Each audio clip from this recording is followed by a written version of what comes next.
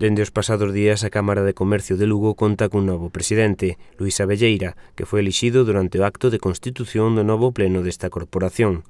Polo momento, Abelleira non se puido pronunciar alrededor do futuro dos servizos desta entidade.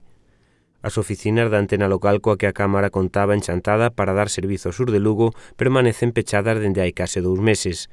A situación económica que atravesa a entidade, especialmente dende hai un ano, fixo que os traballadores laborais, caso dos dous que habían antena local da Vila do Asma, abandonaran os seus postos ou non estar cobrando os seus salarios e presentaron demandas de rescisión dos seus contratos.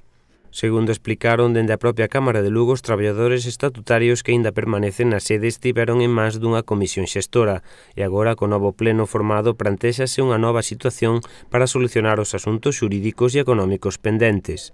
O alcalde de Chantada, Manuel Varela, lamentou que a antena local tivera que pechar recentemente, despois de que o Concello lle concedera un espazo no edificio das antigas carnicerías, a carón da casa consistorial onde se instalaron no 2010.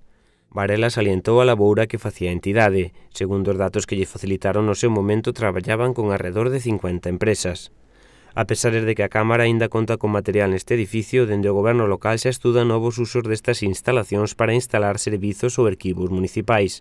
O alcalde Chantadino agarda que o novo presidente da entidade cameral lle comunique algo ao respecto para poder dispoñer canto antes deste espazo.